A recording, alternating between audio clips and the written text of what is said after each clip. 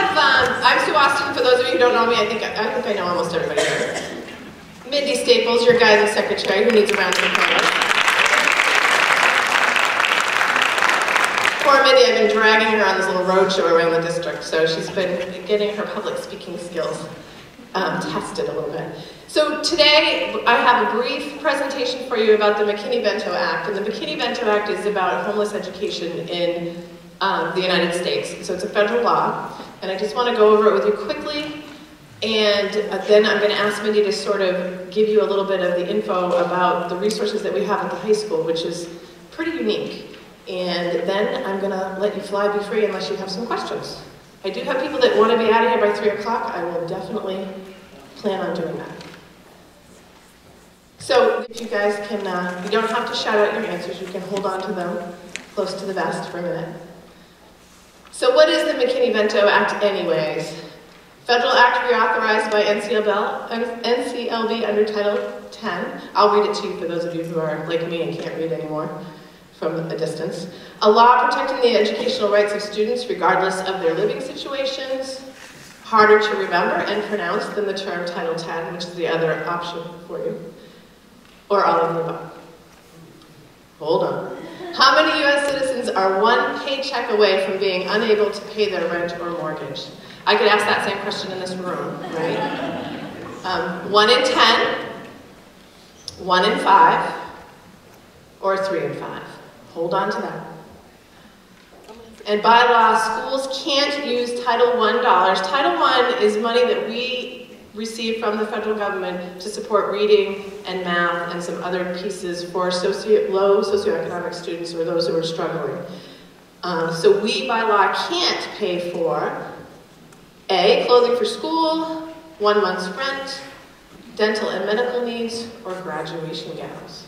So think about that one for a second. We're going to go right through and I'm going to answer these questions for you. Let's see how many of you got them right. So what is the McKinney-Vento Act? Homeless Education Act. That, this was one of the, the easy ones. How many U.S. citizens are one paycheck away from being unable to pay their rent? What do you guys think? One in ten, one in five, three in five? Three, five. Yeah, how many in this room? You know, that's, we're all there. If you haven't planned well, you're there. Okay. That says a lot. By law, schools can't use Title I Part A dollars to pay for. What did you think? There was rent, medical, um, graduation gowns, clothing. What do you think? Okay, let's see. It's rent. So if we have a student who's homeless and can't is, is a graduating senior, we can take care of their cap and gown for them, that kind of thing. And we can support with clothing if we can do that. The, the deal is this. Title I funds need to be set aside, and we only set aside about $2,000 towards homeless education support in that Title I funding. The rest of it goes to support um, K through 5, pretty much elementary reading and, and math. So I do use my Title I funds to help fund Cindy, I mean Mindy's position because it helps us a ton in terms of monitoring everything. What we can't pay for, interestingly, is transportation under most circumstances. So just quickly, some of the statistics in Maine right now, and this was as recent as I could get, was through 2011. Um, it's dropped, you know, our median income has dropped by 7.7% from 47,000 to 46,000. None of this is probably news to you. You all understand, you know, you're living with the pain itself. Um, in, unemployed people has increased by 43% and li folks living in poverty by 15%, which puts this number in 2011, 49,000 of our Maine kids are living in poverty. We know that number is higher today based on the economy that we're living in. But still, it's fairly, you know, it's, it's a big increase over from 2007. The data in Maine, this is the reported data. We know, particularly at the high school level, there are many, many more students who are living in a situation of doubling up moving around so that they're not necessarily considered to have a full-time residence, but it's not reported. So this is the information from 2010-11, 1,625 kids homeless. When we were at a conference a couple of months ago, Mindy and I were, you know, talking with the folks throughout the, the state, and they think this is probably a quarter, really. It's, so, it's that underreported. But where are those folks living? In shelters, which um, we don't have a lot of shelters in our York County area, but we do have a few. There's a couple in Sanford. Um, there's the Alfred Shelter as well. Doubled up is the primary, so you know students already that are couch surfing. Hotels and motels, those are mostly and primarily the folks that are living in coastal, where there's a lot of um, availability of motels and hotels in the winter for winter rentals. Unsheltered, probably more so in the larger cities, you know, in, in terms of that. And there's, there's just that error of percentage that nobody's really sure what that stands for. But in our case, doubled up is probably the biggie. So is homeless the right word for it? Well, this is how it's defined. And I gave you guys just a quick little fact sheet about the McKinney-Vento. So it's students lacking a fixed, regular, and adequate nighttime residence. How many of you know a student who's living in that right now? There's a lot. It's, you know, half, half of you in here can say, I know one of the students that are, that are struggling. So hotels, trailers, campsites, we actually have in Lebanon um, Sky High Campground, which accepts students on a short, or families on a short-term basis to live there, and they're living in camping situations with very little, um, you know, running water not always, electricity not always, just depends on what they're able to set up with. Um, so utilizing their facilities rather, and they stay there for a good part of a school year. And then the students sharing housing are doubled up for, for economic reasons. Oops. Uh, oh well, we're just going to keep going. Facts on students in transition. None of this, is, again, is things you don't know. 20% of children and youth without a stable housing do not attend school. So this is where we're battling, trying to keep our kids in school. And this is what the McKinney-Vento Act is really all about. Within a year, 41% of these students will attend two schools, and then another 28% will attend three or more schools. And think about what happens with every transition. Each change in school, it hits their, you know, set, set back academically four to six months. And again, you know, you, you know these kids that are in your classrooms that are moving from school to school. What are our responsibilities? We have to appoint a district liaison, which is what I have been doing for a number of years. And we need to do community outreach, which we're trying to do. We try to hit, you know, reach all the shelters and we reach all of the, the churches and the, you know, food pantries, etc. But we need to do more of that, and we're working on that. We do provide free or reduced lunch for those families that will seek it, and that's a, that's a problem because not everybody's willing to come forward and say that they need the help. So it's an important piece of it. And we need to enroll students immediately.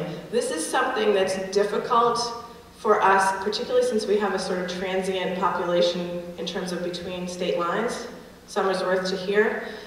Um, we've had phone calls from, from, from guidance and said, you know, what do we do about this? This person is claiming that they're homeless. We have questions about residency. We say enroll, and we'll deal with the rest of it later. But it is one of those things, it's our required by law, if a person comes in and claims that they're homeless, we need to enroll that student immediately with, without documents, which is counterintuitive to us because we always want to make sure that our tax money is paying for our kids here in our district. But it doesn't happen so much that we should um, feel like we need to fight that too much. And providing transportation to a student's school of origin. School of origin is where that child has become homeless. So if I have a student who has lost their rent and their parents need to move to a shelter in Sanford, we are the school of origin. Therefore, we are required, if the parent chooses for their child to continue to uh, be here in SAD 60, to, to provide transportation. The good news is we split that with Sanford. Sanford will go back and forth with us, but that child will be transported back here. That's something that, that sometimes people struggle with, I've had students in Barrington, and we've transported for an entire year, because there is no length of time on how long you, consider, you can consider somebody homeless. If they are in transitional housing, it's considered still a homeless situation. So we, we struggle with that.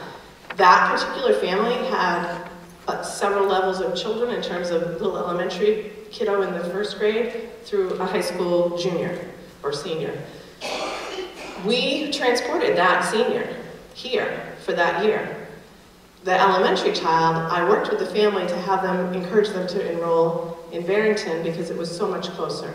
Because a 40 minute drive one way for a little kiddo is tough. And if the family, but if that family had said, no, we want, we're coming back to Lebanon, we want that to continue, if she had fought me on it, then we would have continued that transportation. So it really is a case by case basis. So, and again, use title, use funding if you set aside enough from Title I to assist the qualifying students. But that, again, it doesn't cover transportation. So what we ask of you, in terms of your, our teaching staff and our, and our you know, folks that are here, is become familiar, which is what I just shared with you, and it's, it's very, it's pretty, pretty baseline. Um, monitor student comments. A big piece of it, you guys hear it, you know it. People in the health center, I'm looking at Cindy, I'm sure she's hearing it on a regular basis. You know where kids are when they're not in housing that's really um, stable for them. If you get that information, pass it on. Either you can call Mindy, you can call me, you can let Joe know, or any of your administrators, because we'll follow up and check in with them. If parents refuse to refuse the services, that's okay, but we should ask. That's the key. Um, again, you know, changes in student behavior, clothing, etc., and share that information with us. So what we need to do is these kind of things where we're going to start doing this on an annual basis um, and we'll be able to just make sure that everybody is aware of the, of the McKinney-Vento Act. Um, we coordinate with outside resources. I know that Mindy's been talking with you know some of the area churches. I work with the shelters so that I know what's going on and who's who's who from our district is where. Um, and we'll post more outreach materials in the community. And we act as advocates for those kids. That's, that's our job, to make sure that those kids get what they need in order to maintain a steady school um, career. Sometimes it works. Sometimes it's a struggle. So that's my portion of it. We're doing well with the time. I'm going to ask Mindy to come up and just um, share with you what's happening here at the high school because there's a lot going on that you may or may not know about. Up here. Um, I just would like for all of you to um, be able to take away from our talk today just that um, first and foremost, um, as far as the reporting goes for homeless students, sometimes um, when we see students or families that are doubling up, living with other families, either friends or other family members, we might consider that a stable enough environment um, for them. But when in fact we do really need to know about that, um, it can still cause stresses within um, the child's daily, um, just basic, um, what they what they do during the day. So, um, and that can change at any point. Um, so if you do know about that, there are, I mean, we do try to report that and you know, I try to let Sue know that, but I think that that's probably one of the biggest things is that we do have a lot of families that are living together in the district. Um, also, as far as the high school goes, um, it's very important for you to remember that uh, it doesn't matter um, how the student got into that situation. Um, we all know that students in the high school um, sometimes have pretty good tempers, and so um, we know that the situation at home um, might not be the best. Um, they may just have gotten into a simple fight with their parents and, and left.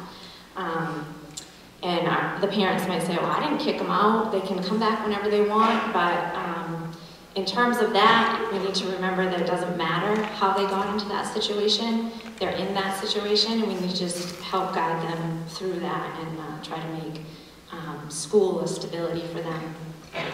Um, and last but not least is the resource closet that we've started here at the high school. Um, I thank you all for your donations. Um, that's been great, and we do service a lot of children out of that closet. Um, right now, we're just taking the personal items, um, but I would like everyone to know that it is a district-wide um, availability for everyone, so if you know a family that could use some sort of care package, please, let, please let us know, and if you know of a family, even if they're younger children or whatever, if someone needs a coat, boots, anything, um, if you know that a kid really wants to do track and they need sneakers or um, you know anything like that, um, please let either Sue or I know, and, and we'll make that happen. Um, I have many contacts within the community. Um, Pratt and Whitney has been a great resource for us, as well as um, some of the local churches. Um, the New Covenant Church in North Berwick has a food pantry, as well as a clothing closet. And the Methodist Church in Berwick also has a clothes closet there as well. So um, there are many places that we can, you know, get stuff for kids if need be.